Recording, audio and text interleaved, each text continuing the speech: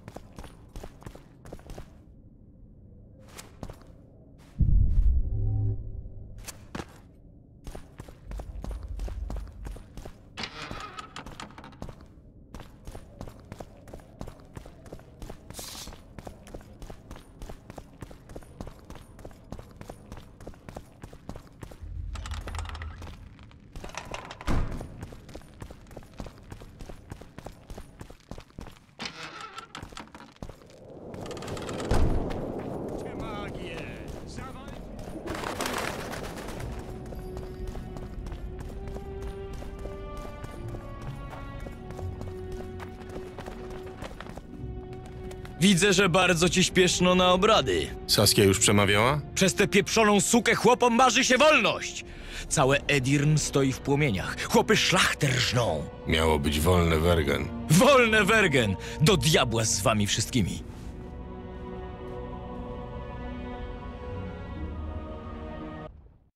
Wolność. Magiczne słowo. Leczy rany, porywa do boju masy. Przynosi ulgę. Krzycząc wolność, ludzie dokonują cudów. Stenis nie docenił znaczenia wolności. Wlał truciznę w usta, w których to słowo brzmiało szczególnie prawdziwie. W Edirn nie ma już króla. Jest głód, choroby, bandyci i bieda. Bo za wolność dobrze się walczy, ale potem znów wybiera się władcę i wszystko zaczyna się od początku. Mimo to wolni ludzie są szczęśliwi, nawet jeśli przemierają głodem.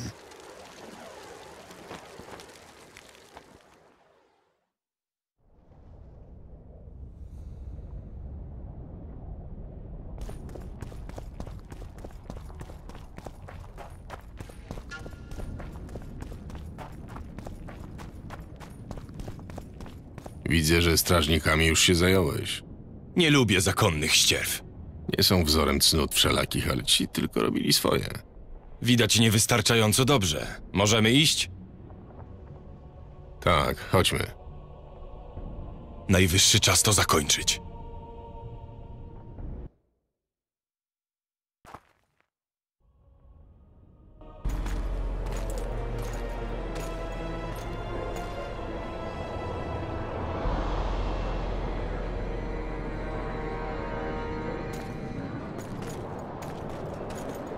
Czy wam się to podoba, czy nie, Janie Natalis, Temeria zostanie podzielona dla jej dobra. Dla dobra całej północy. Zjednoczone siły Kedwen i Redani zakończą walki starszych rodów i zagwarantują pokój od Gorswellen po Elander. W chwili obecnej Temeria przypomina coraz bardziej Dolinę Pontaru. Która, jeśli dobrze rozumiem, znajduje się obecnie pod władaniem Edirn. Mylisz się, Radowidzie. Wergen jest wolne. Wolne? Co to ma niby znaczyć? Dolna Marchia nie należy już do Kedwen ani do Edirn. Wyrzekliśmy się księcia Stenisa. Tak słyszałem. A także pobiliśmy armię króla Henselta. Twoje oddziały to zbieranina zbuntowanego chłopstwa i elfich rozbójników, dziewczyno. Prędzej czy później będą musiały złożyć komuś hołd lub zostaną rozbite. Dolina Pontaru złoży hołd mnie, królowej Saski. Jako niepodległe państwo opowiadamy się za powołaniem Rady i Kapituły. Pochodzisz z ludu. Jedyna korona, którą godnaś nosić, to wianek z polnych kwiatów. Redania nie uzna tej koronacji. Zatem wybieraj, królu Radowidzie. Dokonujesz rozbioru Temerii, czy chcesz wojny ze mną? Henselt, ostatni z rodu jednorożca, przyrzekł uznać wolne Edirn. Filipa Eichhardt była świadkiem. Filippa Eilhart została oskarżona o zdradę stanu i jest moim więźniem. Była twoim więźniem, Radowidzie, ale już nie jest. Zasiądzie u mego boku w Wergen jako królewska doradczyni. Wszystko, czego dokonaliśmy w Wergen, pójdzie na marne. Mamy sztylet. Jeszcze jest nadzieja. Przejdźmy do rzeczy. Dokument określający statut Rady i Kapituły jest, jak ustaliliśmy wcześniej, wierną kopią statutu odnalezionego w ruinach na wyspie Tanet. Najważniejszą sprawą jest desygnowanie królewskich doradców przez kapitułę. Dziś na wielu dworach rezydują przypadkowo wybrani magowie i czarodziejki. Jednak za czasów dawnej kapituły były to osoby specjalnie do tego wyznaczone. A czemuż nie mielibyśmy robić tego sami? Na ludziach tych spoczywa ogromna odpowiedzialność, Wasza Wysokość. Kapituła chce mieć pewność, że będą to osoby kompetentne. Niech zgadnę, osoby, które zadbają o interesy kapituły. Oczywiście, że tak, a podstawowym interesem kapituły jest dobro Królestw Północy. Dokument został podpisany przez proponowanych przez nas członków kapituły i desygnowanych doradców. Czekamy już tylko na podpis Shili de Tancarville. Bez królewskich pieczęci będziecie mogli co najwyżej desygnować doradców pastuchom. To prawda, Wasza Wysokość. Królowie, zanim podpiszecie ten dokument, Wysłuchajcie tego, co mam do powiedzenia. Ależ, ekscelencjo, z całym szacunkiem, sprawa ta nie dotyczy Nilfgardu. Przybyłem tu na zaproszenie króla Henselta. Czy odmawiacie mi prawa do głosu?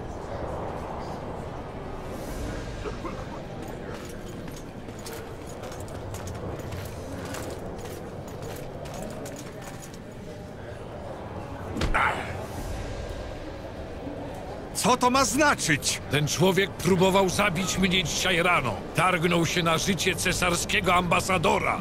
Na waszych ziemiach! Rozumiem, że został przesłuchany. Wyznał, że to z jego ręki zginęli Foltest i Demavent. Wyjawił także tożsamość swoich mocodawców. Czarodziejki, to one pomogły mi dokonać zamachów. Mów dalej. Loża czarodziejek chciała usunąć władców, którzy działali przeciwko magom. Loża czarodziejek? Sporządziliśmy listę.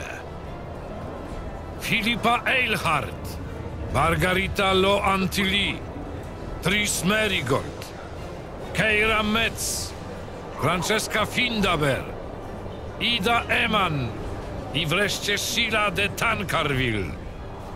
Ku mojemu rozczarowaniu do loży należały też dwie czarodziejki Nilfgardu, Asirewar Anahit i Fringilla Vigo. Cesarz podejmie odpowiednie kroki w ich sprawie. Nasza królowa wyszła przypudrować nosek.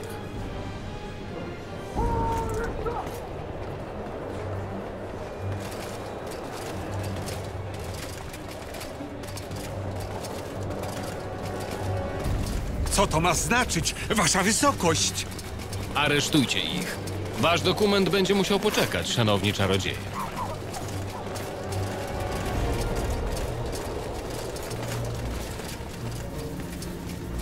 Nie macie prawa. Jeśli nie chcecie kolejnej jatki, tym razem w Lockmuin, poddajcie się. Sąd wyłuska zdrajców.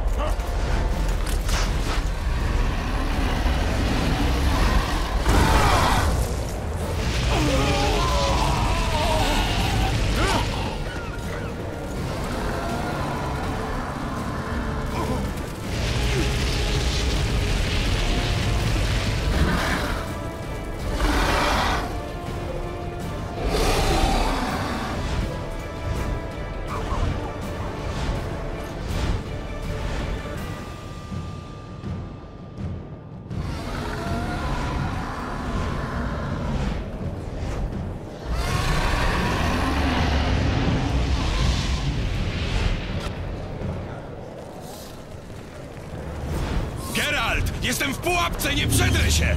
Musisz dopaść Shile!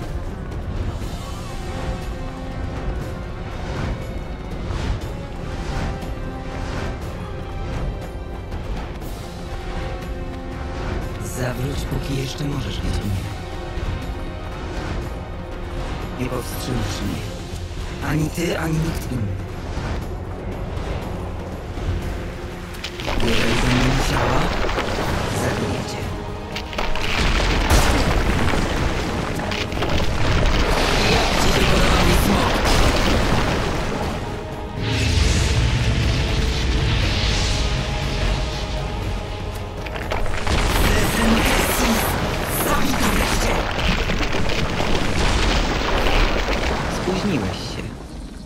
Udało mi się ustabilizować teleport. Nie masz gdzie uciekać. Prędzej czy później ktoś cię znajdzie. Wolę odejść na własnych zasadach. Gdzie Leto? Sesentesis się nim zajmie. Nim i wszystkimi głupcami, którzy dostają erekcji na myśl o spaleniu czarodziejki. Gdzie on jest? Nie wiem, głupcze. Szukam go od zabójstwa Foltesta. Leto oszukał nas wszystkich. Dałyśmy się nabrać na jego tępawą minę i ociężałe spojrzenie. Nie rozumiesz? Loża szukała sposobu na pozbycie się Demawenda. To prawda. Był słabym, chimerycznym królem. Pod jego rządami Edirn stopniowo zdychało. Trzeba go było wyeliminować. Wybrałyśmy mniejsze zło. Zaś Leto akurat znalazł się pod ręką. Foltest i Henselt. Z tym nie mamy nic wspólnego. Po zabójstwie Demawenda, Leto wykorzystał złoto i magiczne wsparcie, by skontaktować się z Jorwetem. Elf miał go ukryć, dopóki sprawa nie przycichnie, tak przynajmniej myślałam. To nie Loża wydała wyrok na Foltesta. Zatem kto? Nilfgaard. Leto to król kłamców i cesarz wśród zdrajców. Od początku działał ku chwale wielkiego słońca i białego płomienia tańczącego na kurhanach wrogów. Poszukał wszystkich. Mnie, Jorweta, twoją głupiutką Trisunię i ciebie. Masz dowody? Przed chwilą otrzymałam wiadomość od agentki loży stacjonującej w Cintrze. Armia cesarska ruszyła. Właśnie forsują Jarugę. Myślisz, że w obecnej sytuacji północ może się obronić? Liczyć na kolejny cud pod Brenną? Nie wiem, ale to wy do tego doprowadziłyście. I odpowiecie za to. Nigdy nie uwolnicie się od piętna zdrady. To się jeszcze okaże. Bo z tego miasta nikt nie wyjdzie żywy. Nikt nie opowie tej historii. Smok jest pod kontrolą Filipy. Gdy zniknę, zmieni miasto w płonący grobowiec. Może i przegrałyśmy bitwę, ale wojna dopiero się zaczyna. Jednak ty nie weźmiesz w niej udziału. To twój koniec, Wiedźminie. Żegnaj. Coś jest nie tak. Diament. Ktoś podmienił diament. Maskadę! Rozerwie mnie! Zdejmij go!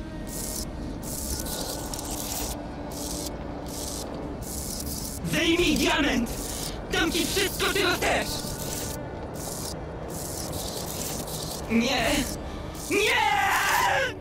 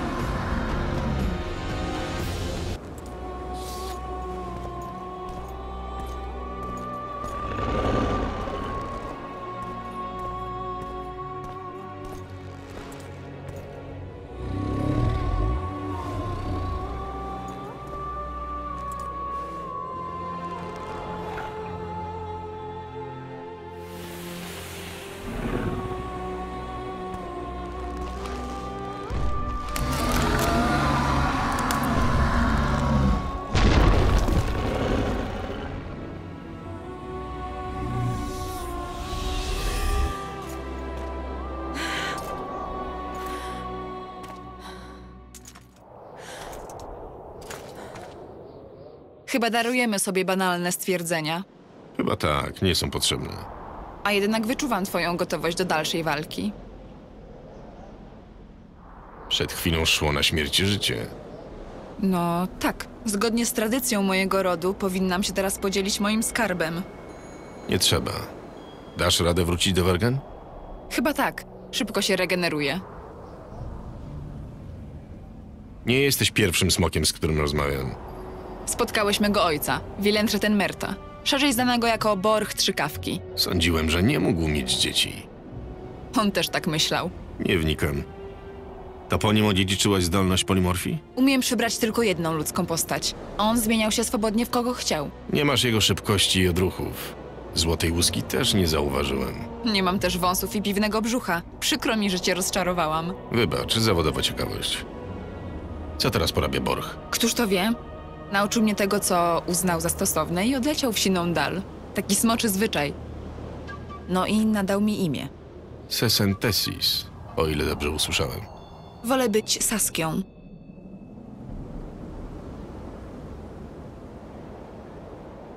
Filipa skorzystała z zamieszania.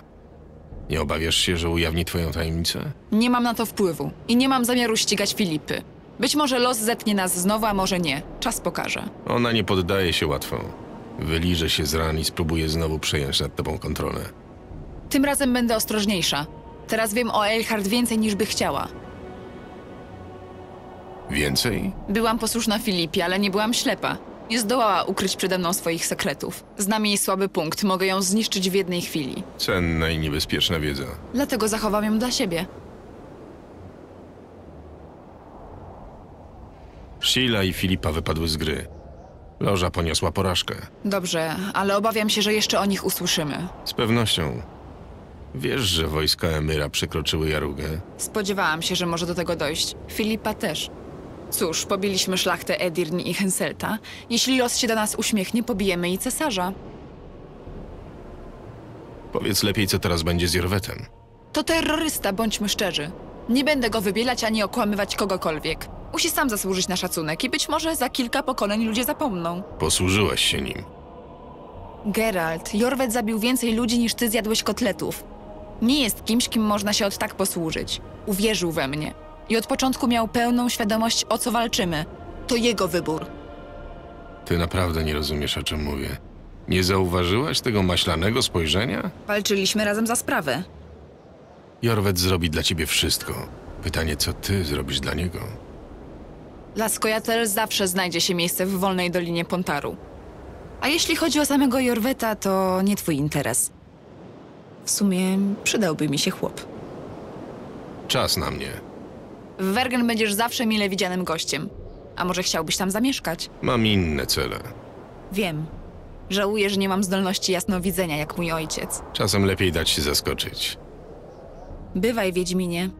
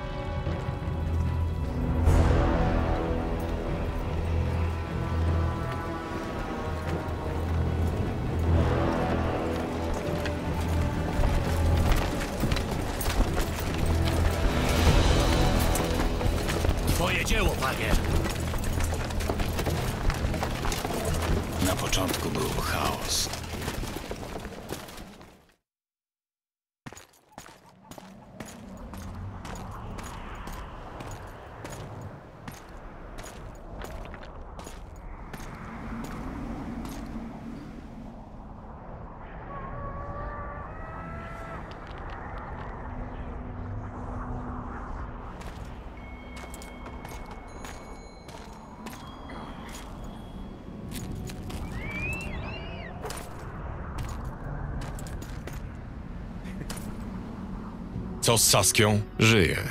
Jest ranna, musiałem ją pokiereszować. Nabiła się na drzewo, potem jeszcze ten sztylet, ale wyliże się. Górskie powietrze dobrze wpływa na smoczą skórę. Jesteś najbardziej szlachetnym człowiekiem, jakiego znam, Gwynblade. Nie jestem człowiekiem. Dobrze, że przypomniałeś, bo przez chwilę moja nienawiść do tego gatunku zaczęła topnieć. Co z Leto? Złapaliście go? Dziwna historia. Siedzi w dawnym obozie Temerczyków. Chyba czeka na ciebie. Skąd wiesz? Widziałem go. Matris. Chodźmy. A ty opowiadaj, co tu się działo. Gdy walczyłeś z Saskią, w mieście rozegrał się krwawy spektakl. Kto grał główną rolę? Aktorów było wielu. Z początku chodziło o polowanie na zdrajców, ale łowy szybko się przekształciły w pogrom wszystkich magów. Doszło też do paru starć między żołnierzami Kedwen, Redani i Temerii. Gwałty, grabieże i morderstwa. Niekoniecznie w tej kolejności. Tym zajmowali się pobożni rycerze zakonu i żołdactwo poszczególnych władców. Królowie opuścili miasto tuż po ataku smoka w towarzystwie doborowych oddziałów. A czarni? Próbowali zachować neutralność. Znaczy strzelali do wszystkich, którzy zbliżyli się do ich obozu.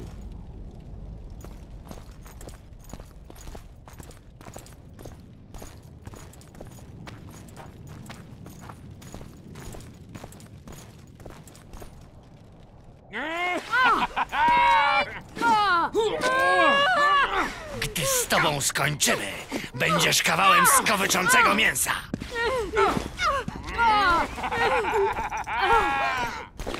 Elf? Zabić nie ludzia!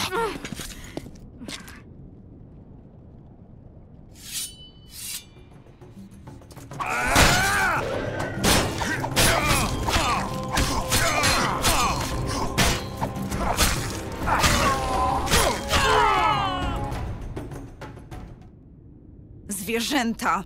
Podłe sukinsyny! Dasz sobie radę? Tak, dziękuję. Zostawcie mnie. Co tu się stało? Po obradach schowałyśmy się w jednym z domów, ale znaleźli nas. Mojej siostrze obcięli dłonie, żeby nie mogła rzucać czarów. Mi udało się uciec. Dopiero tutaj mnie znaleźli. Chodźmy, Gwynblade. To jakiś obłęd. Tak właśnie wygląda teraz Loch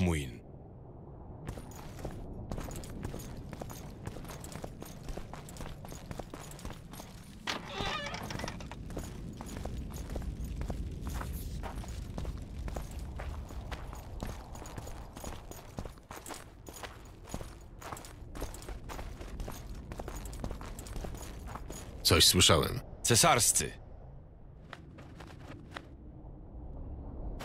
Niech żyje cesarz!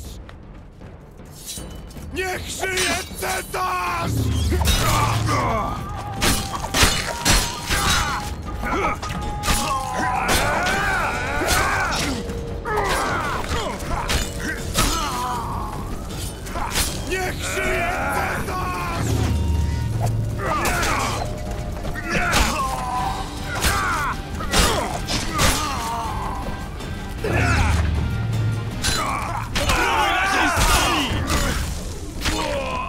Opowiadaj dalej. Udało mi się przekraść do obozu Nilfgaardczyków. Było tam względnie spokojnie. Wtedy właśnie ujrzałem, jak Leto wyprowadził Tris. Pozwolili mu odejść? Nikt nie odważył się stanąć mu na drodze. Poszedłem za nim. Chyba mnie zauważył, ale nie przejął się tym. Gdy w mieście się uspokoiło, przeniósł się do byłego obozu temerskiego. Tris jest cała i zdrowa? Tak. Leto bronił jej przed maruderami.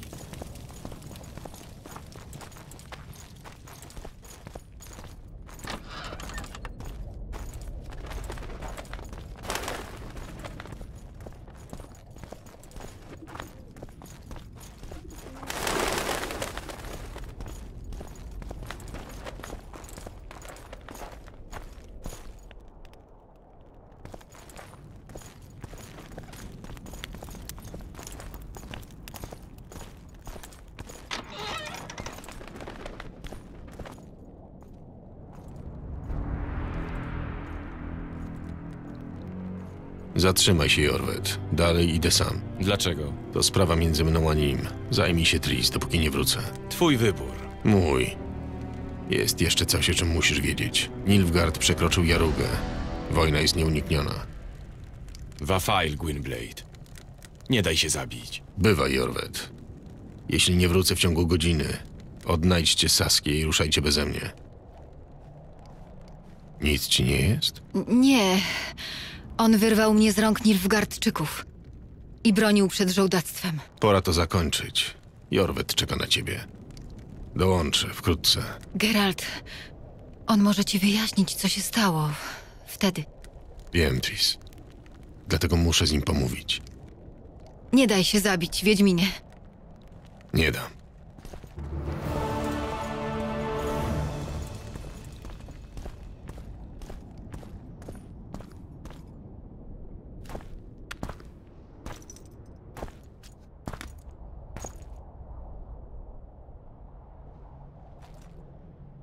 Długo to trwało. To błyskotka z megaskopu Shini. Podmieniłem diamenty. Ten w megaskopie miał skazę, niewielką, ale wystarczającą, by wypaczyć teleport. Cesarscy teoretycy magii zapewnili, że efekt będzie spektakularny. Był. Dobrze. Gdyby przeżyła, mogłaby tylko cierpieć więcej i dłużej.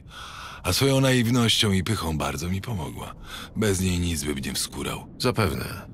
Jesteś gotów odkryć kartę? Każdej grze prędzej czy później przychodzi taki czas. Lubię ten moment. Ale najpierw... Wódki? Daj. Zaschło mi w gardle. Za starą znajomość.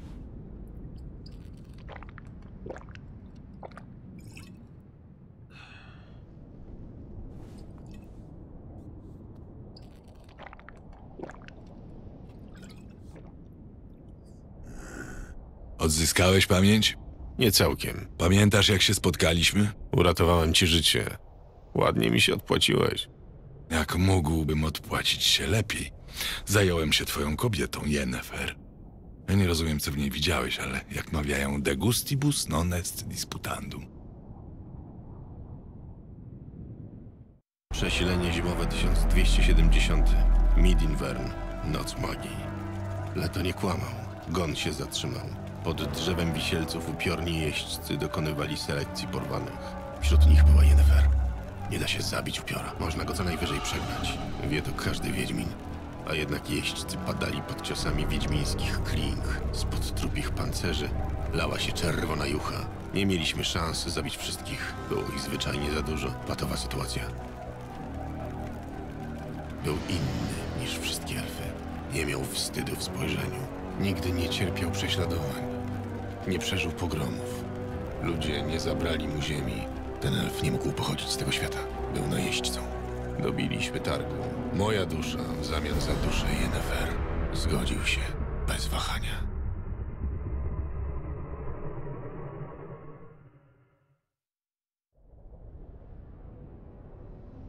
Chłopie, Geralt, zdaje się, że na chwilę odpłynąłeś. Wspomnienia wróciły.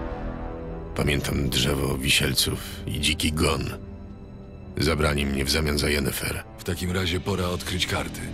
Chyba, że ścigałeś mnie tylko po to, żeby zabić. Ścigałem cię z wielu powodów.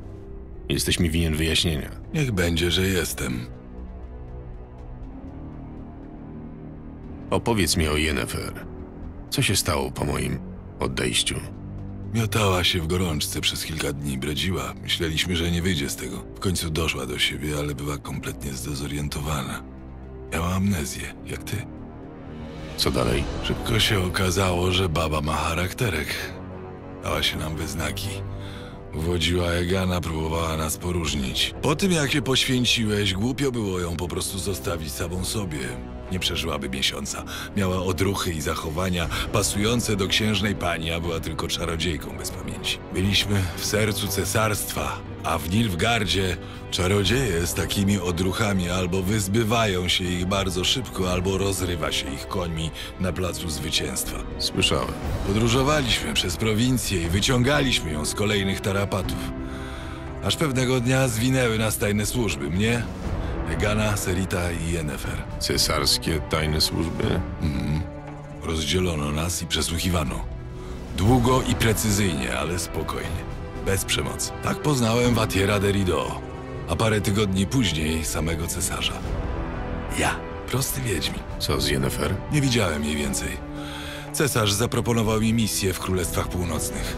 Co się zaś tyczy Yennefer, z jakichś względów była dla Emyra ważna. Podejrzewam, że to właśnie od niej dowiedzieli się o loży. Cesarski wywiad ma swoje sposoby. Wiem tylko, że Jennefer była w pałacu pod ciągłą obserwacją ludzi Watiera. Później pojechaliśmy zabijać królów północy. Więcej nie wiem, Zatem jest w cesarstwie. a przynajmniej była, gdy wyjeżdżałem. Dlaczego Wiedźmin zgodził się zabijać ludzi dla innego człowieka? Dla cesarza, Geralt. On nie jest zwykłym człowiekiem. Władcy z północy mogą mu co najwyżej własnymi pyskami polerować na kolanniki. Dlaczego? Obiecał odbudować szkołę węża. Wiedźmiński zakon, w którym mnie stworzono. Szkoły wiedźmińskie na południu upadły dawno temu, a sami wiedźmini stali się banitami, bez prawa wstępu do większych miast. Poza Eganem i Seritem jest jeszcze dwóch wiedźminów ze szkoły węża, których znam. Nie wiem, gdzie są, nie widziałem ich od lat. Teraz będą mogli przestać się ukrywać, wrócić do domu. Jaki był ostateczny cel? Zabić tylu władców, ilu się da, winę zwalić na czarodziejki, wywołać chaos, przygotować północ na inwazję. I wiesz, co mnie najbardziej bawi? Trafiliśmy na bardzo podatny grunt. Niezależnie od wyniku wojny jeszcze długo będą się oskarżać, dochodzić praw, mścić i kłócić. Północ przypomina ogarnięty pożarem burdel, jak mawia twój przyjaciel Jaskier.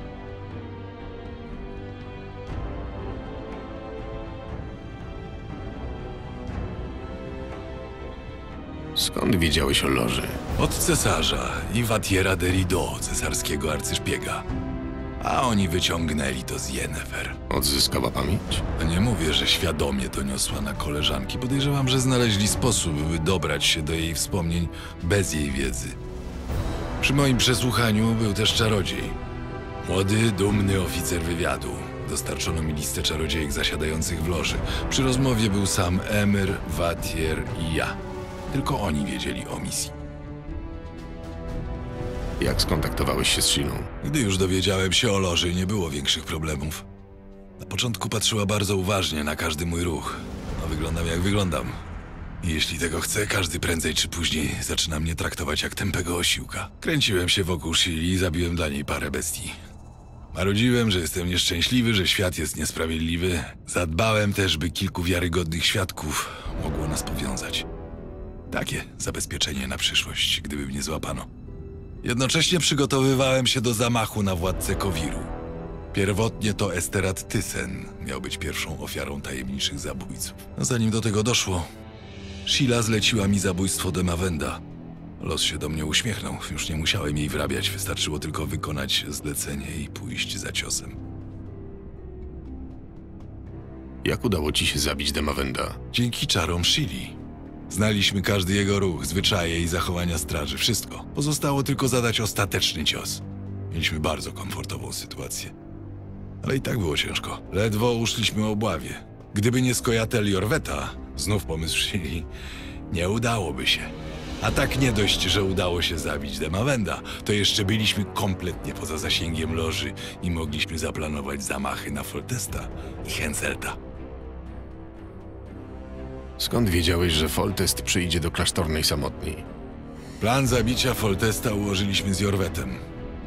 Król Temerii nie krył się z tym, że zamierza rozprawić się z lawaletami.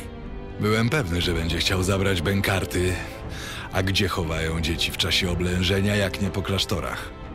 Musiałem zostać mnichem, ale nie mogłem przyjść do klasztoru i powiedzieć, że spłynęło na mnie objawienie. To byłoby niewiarygodne. Dlatego patrol Ariana natknął się na oddział wiewiórek torturujących bezbronnego mnicha. Dzielni wojownicy przepędzili elfy, a ja znalazłem schronienie w klasztorze. Nikt nie zauważył, że nie jesteś okaleczony? Mnich, który mnie leczył, dostał dużo orenów za milczenie. Ot była tylko pożyczka, potem go zabiłem. Tylko umarli nie zdradzają tajemnic. A potem wystarczyło czekać na rozwój wypadków. Kiedy zobaczyłem, że wchodzisz do komnaty z Foltestem, pomyślałem, że plan się nie uda. Na szczęście nie rozpoznałeś swojego starego drucha. Kiedy postanowiłeś pozbyć się Jorweta? Kiedy zorientowałem się, że nie będę mógł nim manipulować. Był zbyt spostrzegawczy i niebezpieczny. W każdej chwili mógł przejrzeć moją grę. I to był błąd. Póki chronili cię skojatel, byłeś nie do ruszenia. Ale też nic nie mogłem zrobić. Gdybym dobił Ciarana. Ale nie dobiłeś. Dzięki temu udało mi się skonfliktować cię z Jorwetem i zmusić do ucieczki. Pamiętaj, pozwoliłem ci żyć, a mogłem zabić. Pamiętam. To ciebie Sheila szukała we Flotsam. Zgadza się. Chciała się mnie pozbyć. Wciąż myślała, że panuje nad sytuacją. Założę się, że sądziła, że mi po prostu odbiło, albo że to Jorwet mnie zmanipulował. A w tym czasie północ pogrążała się w coraz większym chaosie. Dokładnie. Ty byłeś największym problemem. Mogłem cię zabić wtedy w elfich ruinach, ale nigdy nie byłeś moim wrogiem. Nie udało wam się dopaść Henselta. Wszystko się pochędożyło przez klątwę Sabriny. Po pierwsze utknęliśmy w kryjówce w wąwozach, po drugie zjawiła się Sheila i pilnowała Henselta jak oka w głowie. Ale jego śmierć nie była już niezbędna. Wtedy los uśmiechnął się do nas po raz drugi. Dowiedziałem się o obradach i próbie wskrzeszenia Rady i Kapituły. Idealny moment na wielki finał naszej misji.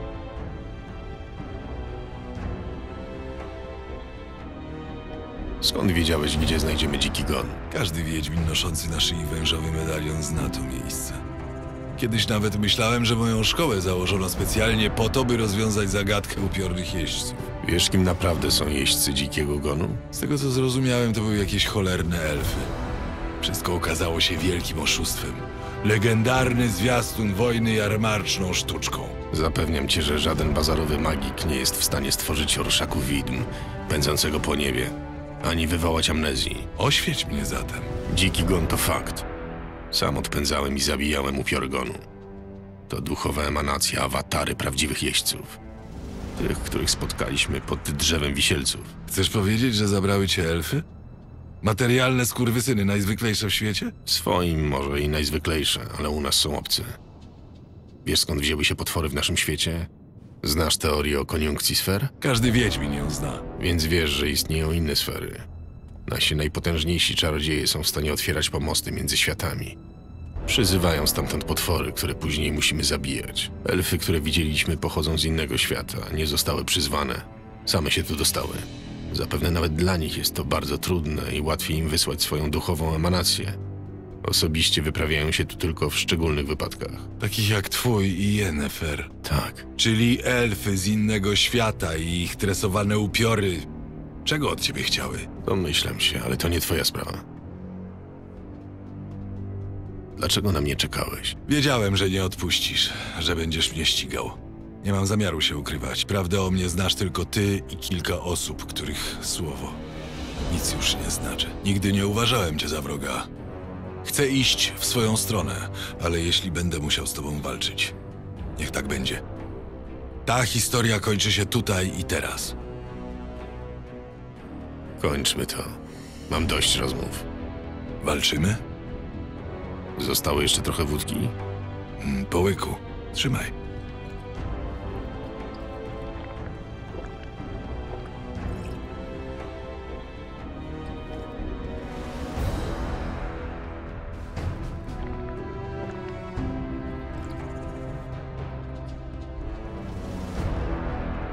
Wojska cesarskie pewnie właśnie forsują Jarugę. Północ jest skończona, pora się wybrać na południe. Tam czeka mnie dobre życie. Jesteś głupcem, Leto. Ani ty, ani twój cesarz nie wzięliście pod uwagę jednej rzeczy.